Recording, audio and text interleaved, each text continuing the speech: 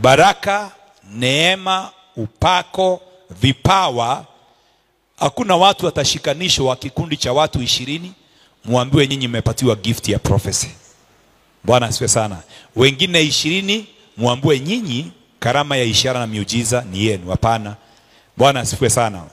Baraka itashuka kwa kila mtu mmoja mmoja.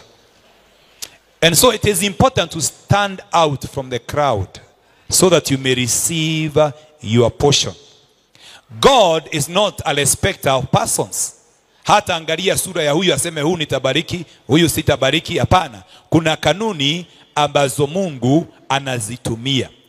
Ha? Zamani nilikuwa ninaona primary school vijana wengine wakirudia shule sana, wakizeeka, unakuta kijana ako na devu na ako primary school, inasemekana ah, huyu apitishwe, mezeekea hapa standard 6. Shule ya Mungu haina kupitishwa, utazeekea hapo standard 6. Wacha kutoa ndevu, utatoa mvi. Sijui kama unajua watu wakiwa kwa umati, umeshai kuona walimu wakiwa wamegoma? Unaweza fikiria ni walimu unaweza kuwa umeshai kuona madaktari wamegoma even the learned friends wakigoma huwezi kufikiria kwa sababu in the crowd there is a level of foolishness kuna ujinga huwa unashuka wakati wako katika umati. Walimu msinipige na mawe. Lakini unajua ni kama walimu ndio wamegoma sana kuliko wale wengine.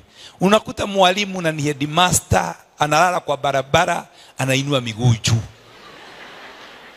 Mpaka unashindwa gai. Sasa huyu akifanya hivi wanafunzi watafanya nini? Lakini imagine huyo mwalimu ukutane naye kwa barabara alale kwa barabara ainue miguu juu.